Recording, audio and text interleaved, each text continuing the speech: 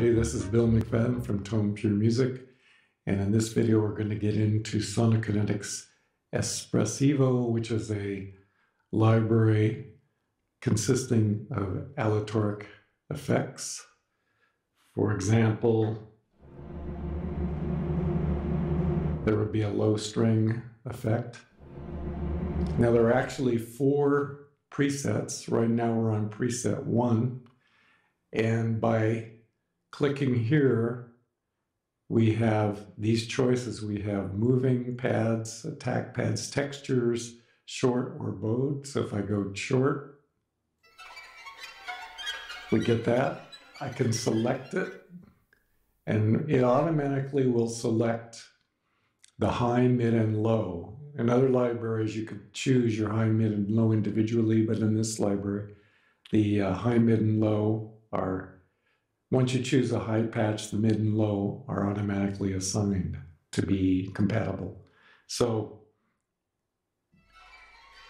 now right here, this key is playing the pattern I just loaded, and here was the automatic mid patch, which is similar, and then your automatic low patch, which was assigned. And you also have mod control on your volume. You can raise or lower it with the mod wheel. And that's the strings. We also have brass, woodwinds, and percussion. So we're still on the first preset. And let's listen to the woodwinds. The woodwinds are the blue keys.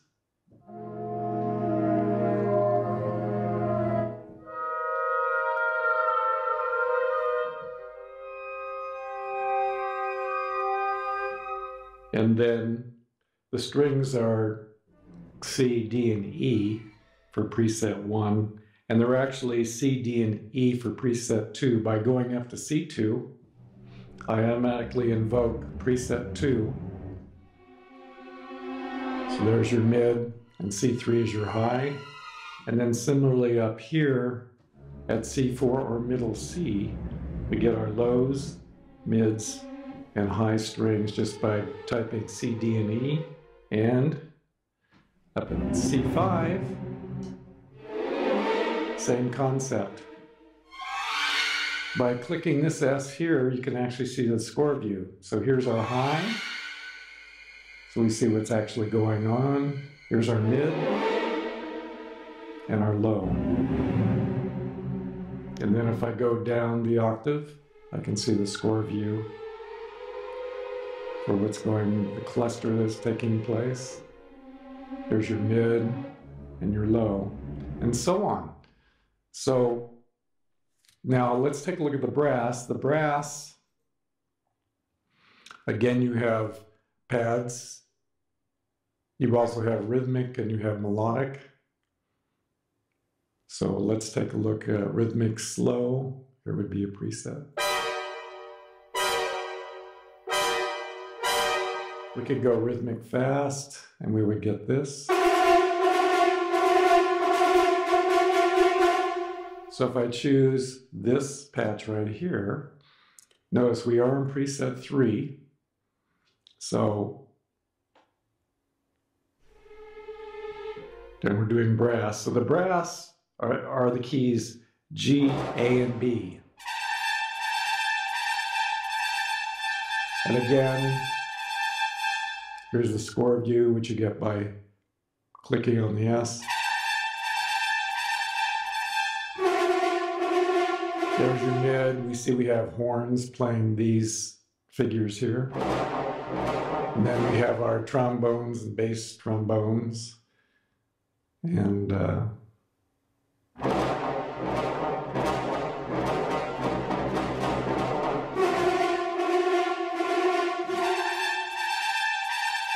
So at the high, we have our trumpets, and we go down to our horns, and then the low are our trombones. And we're on preset three. We have four presets. I can click here to go to preset four, or I can go to the highest octave, which would be up here at C, or actually G5. There's your mid, there's your high. We also have uh, woodwinds and percussion, but again, you have the same kind of idea with pads. Here we have crescendi, which is different. Uh, we have rhythmic, slow and fast, and melodic, continuous, broken, directional. So here would be an example of directional melodic. Which is a little loud at this point, but let's go ahead and we're in the C4 or the uh, the fourth preset. Now your woodwinds are C sharp, D sharp, and F. So clicking on this S in Espressivo, the second S, we get the score. So here's your high, there's your mid, and there's your low. So, so we have a piccolo going on, we have an oboe and flutes, one and two going on up there in the high. In the mid, we have oboes, English horns, and clarinets. In the low, we have bass clarinet, uh, bassoon, and contrabassoon going on. And then in terms of percussion, we have these choices. We have uh, crescendi, like direct and delayed, rhythmic. Let's do a rhythmic dance.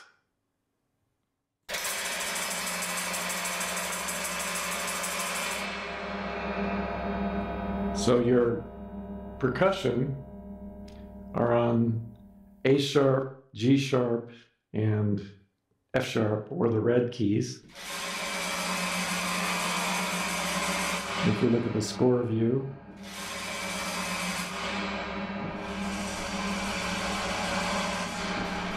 they have, in this case, there are three uh, keys.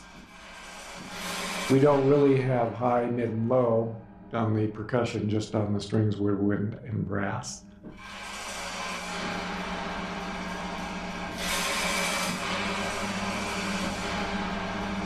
So here we have tom tom on the edge, and then we have some snare sticks.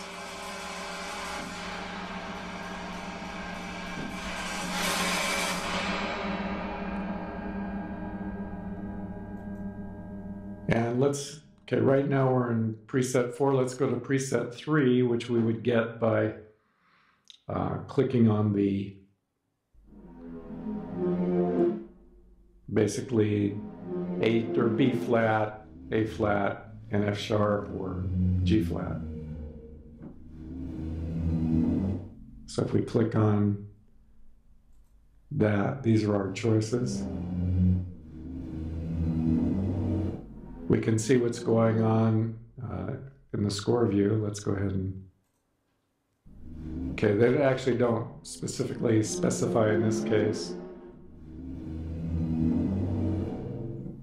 But it's probably different sounds with cymbals using uh, different kinds of mallets.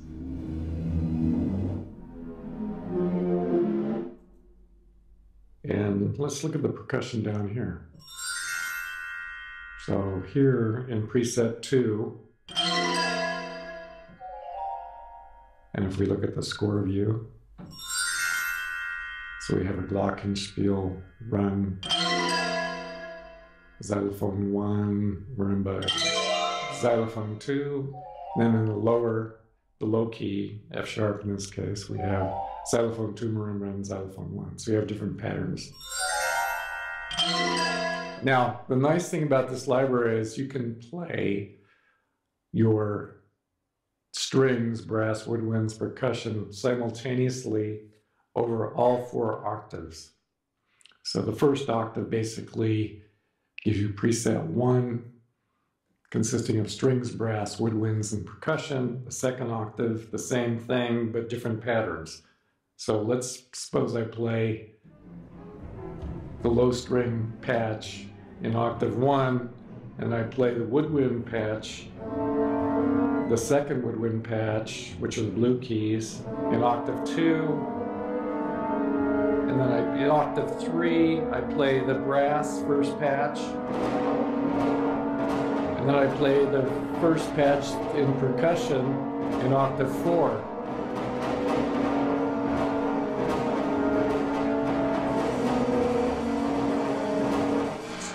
So you have a lot of variety.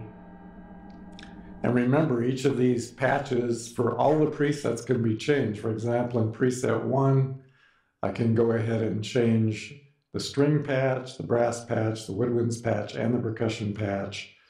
I can do them all simultaneously randomly by clicking the O. Then we see all these things change, and we're an octave, the first octave. So here's strings.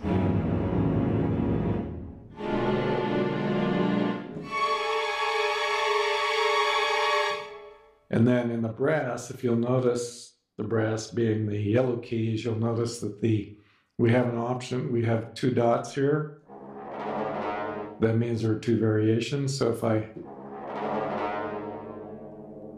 click the first, the low patch, and then click on the variation,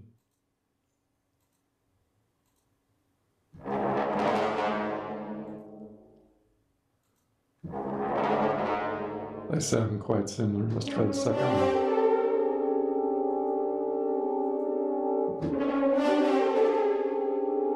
Slight difference there.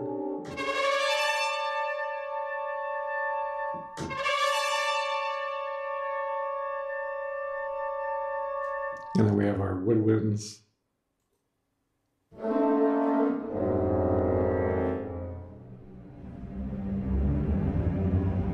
Let's look at melodic. Sorry about that, it gets pretty loud. So let's choose that one. We're in preset two, so that's the second octave.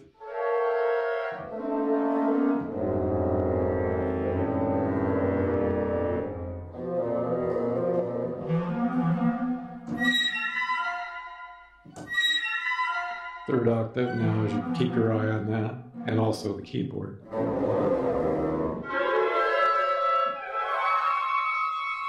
So this is basically, uh, we do have uh, controls for modulation. You can activate uh, a particular instrument sensitivity to the mod wheel. It can be ignored by clicking on that for volume changes and keep the other say your woodwinds and brass active in the mod wheel and then have these strings basically immune to the mod wheel.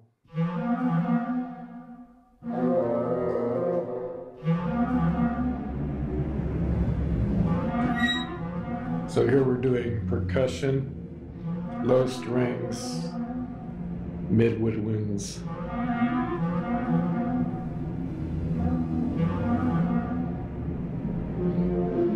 And we can even go down here and put in the low strings down here. The high strings in the first octave. So you have access to really all four octaves, depending on how how you can uh, stretch your fingers.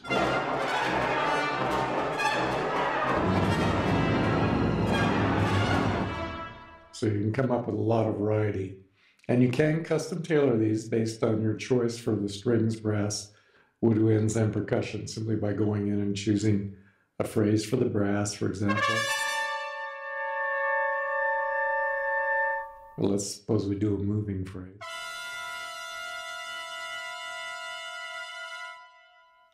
And uh,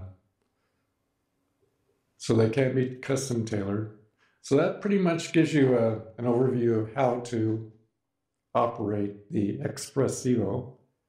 And uh, the library is actually recorded at a tempo of 130, and it does uh, adapt to your the tempo in your DAW. So you probably want to keep your tempo close to 130 to avoid uh, time stretching unnecessarily for the most natural sound. So this is Bill McFadden. If you like this video, please click like. If you wish to subscribe, then please click on the subscribe icon at the end of the video coming right up. So Bill McFadden signing off from Tone Pure Music.